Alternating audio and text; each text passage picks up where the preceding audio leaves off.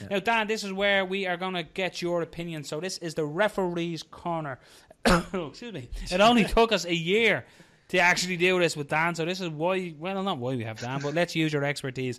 Dan, obviously the first fight, I know it was a prelim fight between Tim Means and Alex Oliveira, where it was stopped um, after three minutes and 23 seconds of the first round. Tim Means um, need grounded Alex Oliveira. Uh, a little bit of confusion uh, came in on the broadcast where Joe Rogan and Mike Goldberg uh, called in uh, Marc, Marc Ratner. Um, to clarify the rule set. Um, now, before we get you to speak on this, Dan, we're, we're sort of throwing this one at you a little bit. You have experienced a similar sort of thing. So the referee at the time was Big Dan Miragliotta. Basically, what happened was it was called in. Uh, Dan said it was an illegal strike, wasn't intentional. We did not know, and it was ruled a no contest. Um, now, I believe uh, Oliveira is appealing this that it should Which be a should, yeah, yeah, it should be a DQ. So before we're going to yeah. do that, Dan, we're going to lose you off the screen. We're going to tee you up a fight that you were the referee at BAMMA 25. I'm sure by saying this to you now, you might realise. So we're just going to shut up, let it play, and the audio. So for people listening, Dan will go through it in detail. Uh, I'm sure this is you remember this, Dan. So Dan will have to go through this in detail. But if you're watching on YouTube, you'll see it on the screen here. So uh, play away there, Rob. Courtesy of BAMMA. Courtesy of BAMMA.com, of course extension happens from one of these athletes, but they're both so skillful, it's almost impossible to see coming. If I was Stapleton, I'd have another look at his man on the ground because, as you said, he got good position there. Ooh, possible low knee. We're going to get, a, I think, a halt to the action. Oh, Stapleton is all over the place, his legs. And that was, I think, an illegal blow. What you've got to look at there is in those transitions from the floor to the feet, big question is, first and foremost, are the feet planted? Are the soles planted? Yes, in Stapleton's case, they were. Then what you're looking for is a third point of contact, and that's one of the hands. I think that's what Daniel Movahedi saw there. Yes, and Lapilus, he knows it, but more importantly, Stapleton is still on shaky legs. And if we watch here, Chris, you'll see it clearly. He slips here, then Lapilus comes in. Ooh, that looked really borderline. I want to see that one more time. That looked possibly to be a legitimate shot. I have to see that again in slow mo. That looked really close. And, you know, when there's such a close level of timing, You've Stapleton's over. It's over. Stapleton has been called off. The, the medic was looking and saying, look in his eyes. He called Daniel Movahedi over and said, look at his eyes here. Look at the eyes. And it's all over. And Lapilus thinks he's done it to win it. I think it's probably going to be either a DQ or a no contest, depending on if it was intentional or not. We're going to have to take a look at how that ruling goes. But what an unfortunate turn of events. It's unfortunate because it was so brilliantly poised. Two such skillful men, so well balanced. He's saying, Lapilus is saying he's only two points gone. He's, he's adamant. And, the, and his corner are, are, fighting the same cause. They're both saying the same thing, and Lapilus is going, no, no. That was so close. I mean, even in slow-mo, it'd have to be slowed down again twice as much for me to make an accurate assessment. It looked really close. Let's take a look one more time. Here we go and taking a look how this transpired, he went slips. high and slips. That's a legal shot. That's absolutely a legal shot, man. And you take a look at the action in the heat of the moment. You've got to make as quick and honest assessment as you can. Here we go, another angle, Malk. Yeah, and he goes down and he comes. The hand comes up here. Chris, I think that that's got to be a legal shot. That's really unfortunate because obviously, as that happened, Daniel Movahedi was behind the two gentlemen as that transpired. It's a, it's a legal shot as far as we're concerned here in the fact that we feel that Lapilus has got a good cause here. But the referee has to make a split second decision.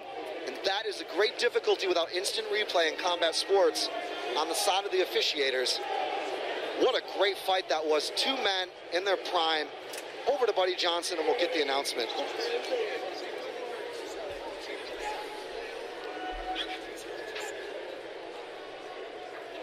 Ladies and gentlemen, this bout ended 38 seconds of the second round. And our referee have disqualified the opponent in the blue corner due to an illegal knee to a downed opponent. Therefore, your winner and still lightweight champion of the world, Martin 50 Cal Stapleton. Okay, Dan. So there you are. That was BAMMA um, 25. Um, you were looking beautiful on the screen, by the way. Um, so Dan, talk us through that. We obviously heard in the commentary booth there as well that they felt it was legal. So again, this is something that exactly the same almost Exactly the with same, uh, exactly the same almost. Contradiction in one sentence. Uh, but uh, Goldie and Rogan were doing this on UFC and obviously that was Chris and Malcolm there on BAMMA. Um, so they were watching it. They did avert that you have a couple of seconds to to see this to make your call. So again just from the referee's perspective everything you just seen there Dan and, and obviously remember from the night just talk is true the rule of grounded opponent Well, obviously, when 2017, so the rule of grounded opponents changed um, slightly. So I'll go through that in a second. But obviously, at the time, anything you know, downed opponent is so where you can't knee or kick an uh, opponent to the head is anything but the soles of your feet on the ground. Okay. Um, so if you've got one hand on the ground, you're a downed opponent. You can't knee or be kicked to the head. If you've got a knee on the ground, you're a downed opponent. And sure as hell, if you've got two knees on the ground in near enough a prayer position, you're a downed opponent. The problem was the French uh, corner, uh, and I think I've heard it in the commentary, is this misconception of three points. Okay, so they were like the the cornerman was shouting at me. Uh, he had two knees down, but his hands weren't down on the floor, and you're like, okay, but that's not a downed opponent. Uh, that, sorry, that, that he's he's he's a downed opponent. You can't knee him or kick him to the head.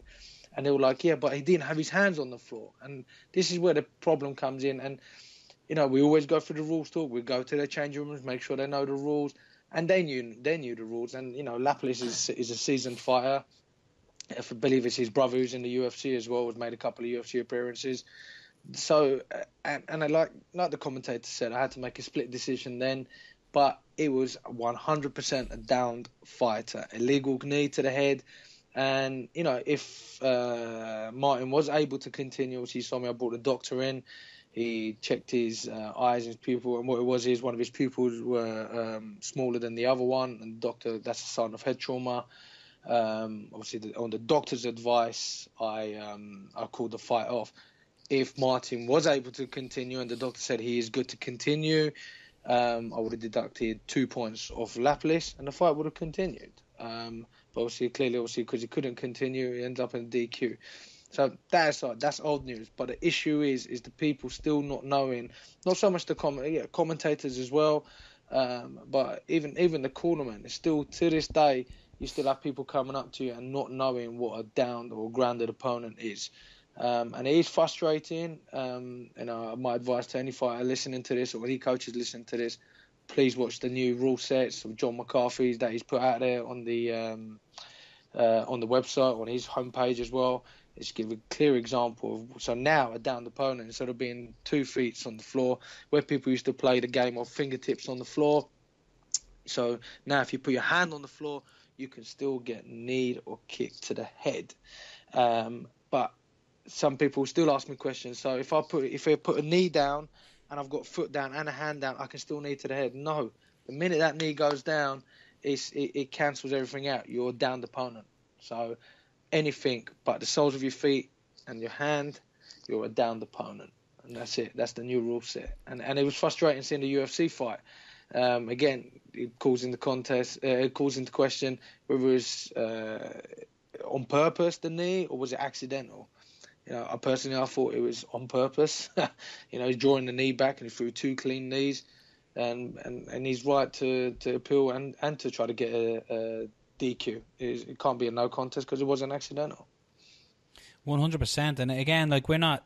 You know, we use that an example because it's you. You could speak about it. We always, we always find when we're talking to you, Dan. You, you know, you, you obviously say, you know, I can only see I'm a fan as much as you are when it's not you Yeah. involved in the cage. So when it was you refereeing, that's why we pulled this uh, this video out was Yeah. because we knew you could speak about it directly because it was your call and what a call. I remember, I remember being there on the night. If the sharp eagle eyed of you are looking at that video, which is available on BAMMA's homepage on YouTube, um, you will see me sitting in a beautiful grey jumper, uh, cage side.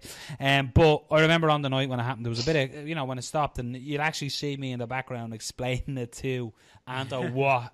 That, no, no, it was ground pound, yeah, and I'm going through it. Now, I'll be honest, when it happened on Friday, I keep nailing it, I kept, yeah, it was Friday. Uh, when it happened on Friday, I was talking to you, Rob, and uh, as it happened, Ratner was going on, saying, "Oh, perfectly good," and I sent you a message going, "Did he not have three points down?" And I was looking at it, so I blatantly myself when I was first watching it was yeah, three points. He didn't have three points. And then when I seen he was on both knees Yeah. and or it wasn't so if that's when I was like, oh yeah, right, I can't. So in the heat of the moment, you know, uh, I think people can react to it a certain way, and that's exactly what Rogan and Goldberg do, and that's why they called him Marc Ratner. And I say Marc Ratner was like, oh fuck shit, I'm not too sure. You know what I mean? And he Yeah. sort of Yeah, said, but but you saying that about Marc Ratner coming in, he could have, you know, g- g- let, let's play a bit of devil's advocate. He could have been not watching the fight. He could have Yeah. been two seconds. His mind could have been somewhere else. All of a sudden, like you said, they brought him in, and he's like, "Oh shit, what's going on?" The person that made the quick call, and you saw it, Dan Miragliotta, straight away, he was in there. No, mate. And then you could even see Tim Means saying to him, "Oh, that's perfectly legal." And he was like, "No, brother. he, he, had the knee on the ground. He's he's not down the opponent." What upset me is some people going on the forums, "Oh, with these new rule sets, that's perfectly legal." yeah, Even with the new rule sets, it's not legal. And the new rule sets don't come until well, what is now January 2017, which we wasn't in at that time. So it wasn't it wasn't legal. Yeah. It just it just frustrates me. People, I think, just uh, is, as much as it is our job to give out to the public and to the fighters to educate them. Um, obviously, there's plenty of referees out there who I look up to who, who do courses, etc. Um, you can go on there.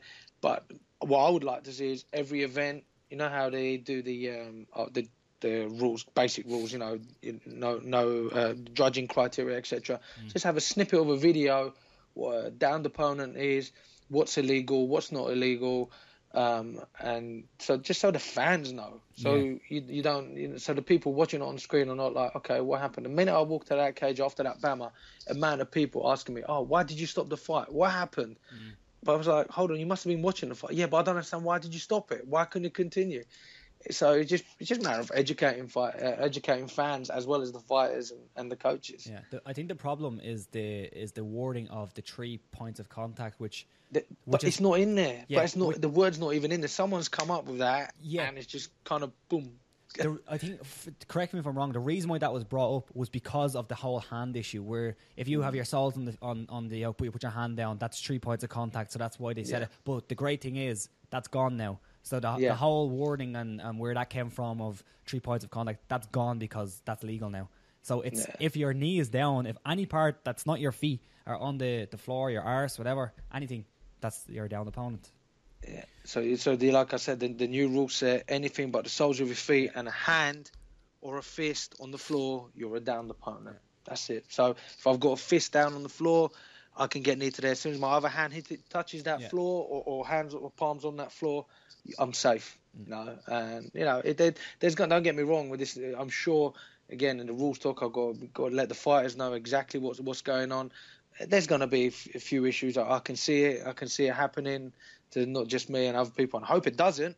But hey, ref, I didn't know what rules we were fighting under. Then my advice to you is you better make sure what rule sets you're fighting under. You know. Yeah, well, I, I have to say on the night, I remember, like I was saying earlier there, I remember when it happened and I was sitting talking to somebody and I tweeted out what a decision. Um, no boys because you're on the show, but it was like no, and it's not- I don't mean you and Jen. Same with with Dan Miragliotta, same with Herb Dean, Mario Yamasaki, um, Steve Mazzagatti. Cecil Peoples. but uh, the same with all referees. You literally have less than a second to to Yeah. see that, take that in, absorb it, and have a decision and make it. You don't have the luxury of looking up to the big screen, seeing a replay. Um, No. So for that, it, it's when you really think about it, the pressure and what's involved on refereeing. And I'm sure you've you felt over the years doing it, you might have had a few questionable ones yourself, but it's great when you see it like a, a referee at a high level like yourself, and they just you know to have the the not the sternness, but you know what I mean. The to have the fucking Yeah. balls to say no, this is it, and that's it done. And then I'm sure because I, I know like Malcolm and Chris um, are great guys, and I know they certainly weren't saying it. They're looking at it and they're giving their opinion at that time of it. Yeah. Um, Again, so- again, you got you know they, they've mostly got someone in their ear hole. yeah, Yeah. You know, from the truck going, oh, explain this, do this, say Yeah. this. You know, like you know, it all gets mixed up. Yeah. But you know, I, I would I would like to see you know if if there's not that a referee should ever explain um, themselves for the decisions they've made, whether it be right or wrong. You you know, like you said, you've got a split second to make Yeah. that decision. Whether whether you've made it a right one or a wrong one, you shouldn't have to explain yourself there and then because that's not the place to do it. Afterwards, yeah. So afterwards, you know, maybe maybe someone should have um, got uh, got the reason why Dan um, stop the fight and why it was illegal, then he could have made it perfectly clear to everyone what the rule sets are, and all that would have been squashed. They used to do that years ago in football. They used to interview the referees. I think it's a great match. idea. Yeah, I do. Like I, I find it, it doesn't necessarily have to be Dan Miragliotta, but it could be like you know there Well, I like be. the way they done the uh, Marc Ratner. Obviously, he got it wrong. Yeah. but it's yeah, good but that they they bring could him in. yeah they could stuff like have somebody speaking on the behalf of the referees who were officiating that night. Let's it could be Dan Miragliotta, but he could be talking about all the referees who were on duty that night, and they go, well, hey, you know, such and such done this, and why was that? You can go, well, the rule is that, that, that, that. Yeah. and it'd be interesting, just like a scrum, like with the fighters, literal five minute thing. I think it'd be a great idea, and it, it clears it up for everyone because it was weird. It, it the internet blew up the other night when it happened. Everyone was talking about it back and forth, back and forth. I messaged you straight away, going, "Do you see this fight? What's the story?" Um, But no, it is, and, and, and like I said, that's that's why I was delighted when we had that footage because it was very similar to Yeah. that. It was an intentional knee. It was um, exactly almost the same. It was exactly almost Yeah. the same. But, But again, like I said, with, with that one, it was virtually just the whole thing. Exactly. but it's when, when, when, like I said, when, when the cornermen go, oh, but he didn't have his hands down. That's what frustrated me the most. Yeah, I'm like, yeah. You're like, I shouldn't be explaining this to you like right now Yeah, when yeah. you're in a title fight. You should have, you know, you should have known that. That's your, that's your job. I'm doing my job. You do my. But what people just want to point out, what people don't realize, not on all shows, but most shows, especially the shows I work on, and if I've got a team with me, we always do a debrief, whether it be from the judges, whether it would be from the, uh, the sometimes the commissioners, something they done, or we do, oh, you know, why did you make that decision? Why did you stop the fight then? Um, you know, what made you give the this? So you try to explain yourself of why you gave them gave the decisions you did, or why you made the decisions or the choices that you did, which I think is good, especially when you do it in a team. You just get a chance to explain yourself and to make people understand why you made made the decisions that you did. But like I said, it'd be nice to get a referee's point sometimes on the night, whether like you said, maybe not Dan's or even on the night of BAMMA. Some, I mean, I, had, I had, I'm not gonna name no names. I had people going, "Oh, you know, how can we stop the fight?" It's just educating people. It'd be nice Yeah. to educate And so- people exactly what what the what the rule is in the sport we're in. And sometimes you just have to think logically as well. Like if I'm uh, sitting down on my ass on my back in guard, my Yeah. hands aren't on the floor, but I'm still grounded. yeah. Yeah, yeah, Yeah, it's like when you were a kid playing lava. Remember, you weren't allowed to stand on your car. Yeah, just because your hands aren't on the floor. doesn't If mean your you- feet aren't on the floor, motherfucker, you're downed. Yeah. uh, but yeah, look, thanks for Dan again breaking that down. We apologise for throwing that video at you because we might have caught you That's unawares all with it. But um, we like to do that. Keep you on your fucking toes.